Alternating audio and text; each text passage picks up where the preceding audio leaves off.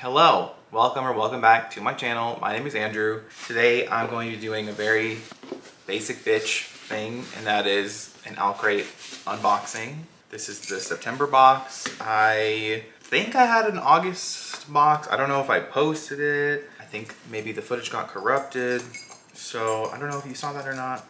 I have absolutely no idea what's in here. I don't even remember what the theme was or anything. So let me see. Memento Mori? Ooh, that's a fun little... Okay, so first thing is a tote bag that says Cresswell and Wadsworth, which I'm pretty sure is from Stalking Jack the Ripper. Pretty sure that's from Stalking Jack the Ripper, which I haven't read, and I was not sure when I read it because I didn't love Kingdom of the Wicked, but then I have seen people compare Stalking Jack the Ripper to the Diviner, so I, I'm probably gonna give it a shot at least. Ooh, and we have this, this keychain? Oh, this is like so you can hang a bag, I think. You like put it at the end of the table and then you can like hang a bag on it. I'm pretty sure that's what that's for. But that's actually really cool because you can, it's very portable. It's so small. It just says Memento Mori on it. That's all it says. Hmm. Next we have, it says, stories are the wildest things of all that's I enjoyed that because they sure are. Oh my gosh, this is this is a jewelry. This is perfect. This is this is yes yes because now I'm wearing jewelry all the time. Where do you put the necklaces? This is so portable too. Wow, actually could not come a better time. Legit, like wow. Okay, that's awesome. Then we have one flesh, one end and it says sea salt, musk, amber, and card cardamom. Cardamom. Cardamom. Ooh, wow. Ooh, that is good. Yeah, that's good. Mm-hmm. Another hit of that. Like, that is delicious. Oh, okay. And then we have, is this a mug? Oh no, this is like a, these dreams will be the death of me. Some people are repelled by darkness, others are drawn to it. Wow, this is actually very pretty. I'm not sure if you can even see what that says, but it's like a mirror. Oh, it lights up. Oh, and this is the pin. The last one of these was so cute. It's like a luggage thing. Literary luggage collection. Serra Moon Festival? The depths? Depths? Deep down underneath it all, the island's heart.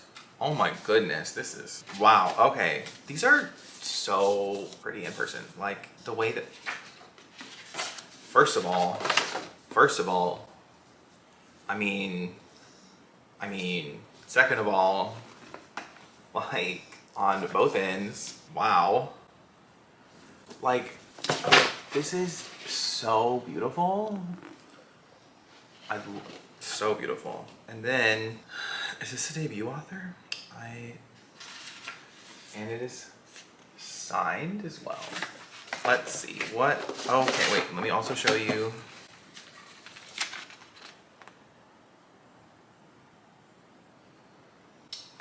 That is under the dust jacket. Absolutely stunning.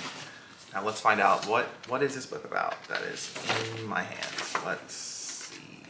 So apparently this is about a girl who goes to like a remote island and there's a boy there who tells her the island is in love with her and there's just all these creepy and eerie things happening people in the woods like this sounds so good. It sounds so good. Mm -hmm. but i think my favorite item is probably this jewelry thing because it legit came and i also love the quote on it. Stories are the wildest things of all. Yep. Okay. The author's note she said it's supposed to be like a haunted mansion but on an island and that when the island loves you it never lets you go so Okay, let's find out what everything was inspired by. Oh, and let's see, it says next month's theme is a study in shadows. Oh, and here's the original cover versus the new cover. Personally, I prefer their new cover for sure. Okay, like I said, let's find out. So, so apparently the luggage enamel pin is inspired by an ember in the ashes. The the Lantern.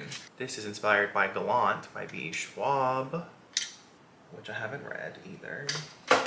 Don't think I will. Okay, okay, and apparently the candle is inspired by Gideon the Ninth, which I didn't think I was going to read because I wanted, however, after Aaron from Booked and Busy said that it's like kind of and then there were none-ish situation, like, and that is the only book I've given five stars all year. This is, and this smelling, I feel like the stars are telling me to read Gideon the Ninth. So I'm gonna read, I'm gonna read, I mean eventually, I don't know when, but I, it's moving up in my TBR. Because th I'm kid, this is probably one of the best. I wish this was bigger. Like, damn. Oh, that smells so good. And I was correct that this was inspired by Stalking Jack the Ripper. And I think that's it. I guess this doesn't have an inspiration behind it, the jewelry, but wow, that was only a few things, but they were really good things. And let's just, let's just read the first sentence and get a nice little taste. Let's just get a little sample. This is a good first sentence. There's a video of me dying on the internet and I can't stop watching it. I mean, I mean, what do you think? This sounds, mm-hmm, mm-hmm. Now, it's obviously young adult. Like these end pages, man, like can you see how reflective they are? They are, and it continues, mm-hmm, mm-hmm, mm-hmm. Yep.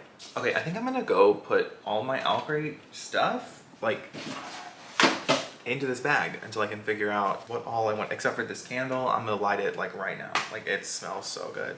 And I want my whole house to smell like that. And I will leave my Instagram, Goodreads, Twitter, all in the description below for you to check out if you'd like. Otherwise, have a great day. Bye.